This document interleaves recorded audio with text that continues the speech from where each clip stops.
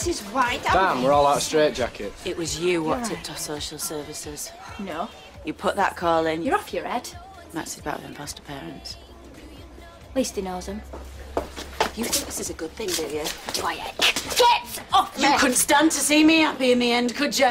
Couldn't stand to see how much he loves me and Stevie. think I want him to have what he had. I love my son.